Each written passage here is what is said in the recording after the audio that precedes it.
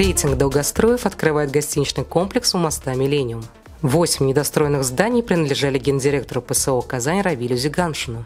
Строительство элитных гостиниц с видом на Казанку началось в 2012 году. Предполагалось, что в мини-отелях будут отдыхать вип-гости города. Достроить гостиницу планировали сначала к универсиаде 2013, затем к чемпионату мира по футболу 2018. Но на конец 2022 года подвижек в строительстве так и не произошло. Объекты перешли к зятю Зиганшина Тимуру Зайнудинову и находятся в собственности ООО «Кварт». Но ни «Кварт», ни ПСО «Казань» разрешение на строительство гостиничного комплекса не получали. По генплану 2040 это место относится к зоне смешанной и общественно-деловой застройки, а узкая прибрежная полоса является зоной озелененных территорий общего пользования.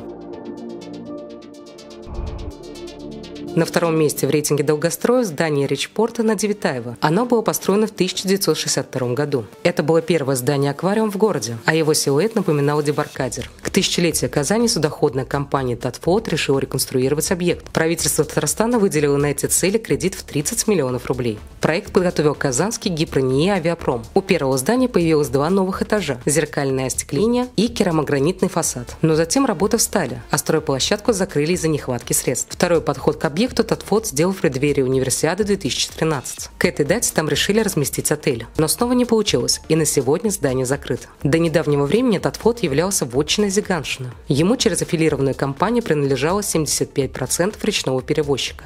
Остальные 25% контролировал Минзем имущество Татарстана. По состоянию на 2022 год 100% Татфота принадлежит республике.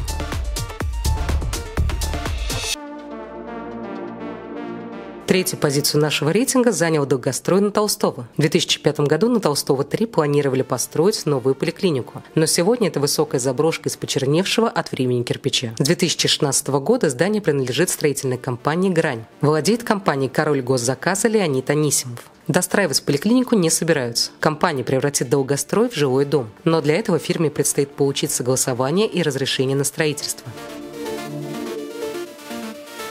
Четвертое место в рейтинге занимает стекляшка за зданием правительства Республики Татарстан. Несмотря на внешнюю красоту, объект не эксплуатируется. Разрешение на строительство в 2011 году выдавал Стройтрансгазсервис. Его учредителем является Александр Пелишкин.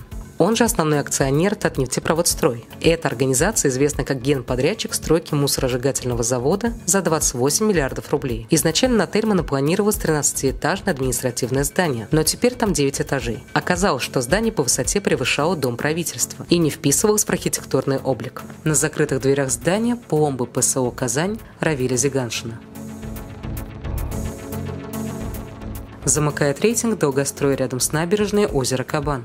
Застройщик Армобилис М получил разрешение на строительство в 2007 году. Но уже в 2009 работы остановились, а спустя три года компания полностью прекратила деятельность. Учредителем Армобилис М была Гульнара Абушахманова. Сегодня она гендиректор Тренд Радио. В прошлом им управлял экс-директор телекомпании «Татарстан-24» Татьяна Абушахманова. Это жена бизнесмена Романа Абушахманова и дочь экс-гендиректора канала СТС Казань. Семья Абушахмановых и сегодня связана с компаниями в сфере СМИ и недвижимости.